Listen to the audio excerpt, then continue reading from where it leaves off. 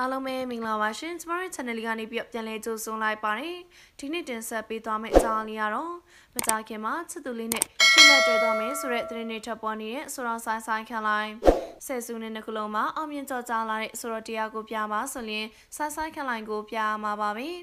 ဆိုင်ဆိုင်ဟာဆိုတော့တရုတ်ဆောင်ဖြစ်ဆယ်စုနှစ်နှစ်ခုလုံးမှာနက်ခန်နီမာလေးရဲ့အသေးဆွဲအားပေးမှုကိုရရှိထားပြီးပြည်သက်ကိုလွှမ်းမိုးထားနိုင်ခဲ့ပါတယ်လက်ရှိမှာတော့အဆိုတော့တရုတ်ဆောင်ဆိုတာပြင် Sign Cosmetic ရဲ့ Managing Director တယောက်ဖြစ်ရပ်တည်နေရဆိုရင်လည်းမမှားပါဘူး